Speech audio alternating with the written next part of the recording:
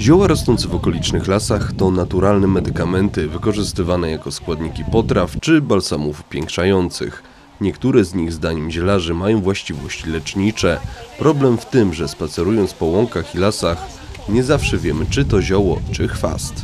Można na przykład dać jakieś lekarstwo, albo można zrobić szampon z pokrzywy. W ogóle w całej Polsce mamy mnóstwo ziół i całe szczęście jest troszeczkę jeszcze nieużytków, gdzie te zioła możemy zbierać.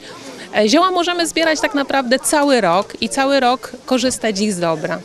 Możemy je wykorzystywać w kuchni do różnych przetworów, również w apteczce naszej domowej jako lekarstwo lub wspomaganie naszego zdrowia, e, ale też bardzo możemy bardzo fajnie wykorzystać kosmetycznie. Szampon, mydło, ocet ziołowy to tylko kilka z przykładów rzeczy codziennego użytku, które możemy wykonać z darów Matki Natury.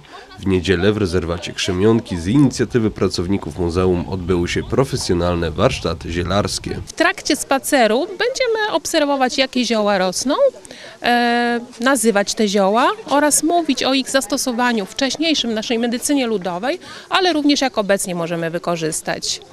A na koniec spacerku usiądziemy sobie na ławeczkach i tam wykorzystamy te zioła, zebrane już wcześniej, bo tutaj w rezerwacie nie będziemy ich zrywać, tylko oglądać e, i zrobimy octy ziołowe.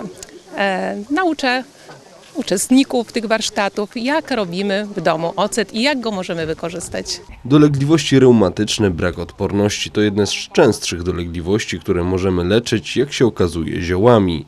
Po ziołowe herbatki i napary z ziół sięgamy również przy problemach z żołądkiem lub bezsennością. Na pewno możemy się wspierać lekami ziołowymi, więc no, nie zawsze, nie zawsze da się liczyć tylko na taką, e, na, na zielarstwo, ale na pewno możemy traktować jako wsparcie, a czasami wystarczą tylko leki ziołowe.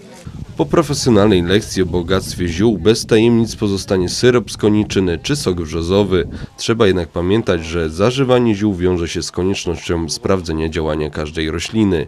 Najlepiej jest zasięgnąć fachowej porady zielarza lub lekarza. Stosowanie ziół w medycynie, podobnie jak w większości leków, może mieć skutki zarówno pozytywne, jak i negatywne. Ziół, podobnie jak leków, nie wolno przedawkować.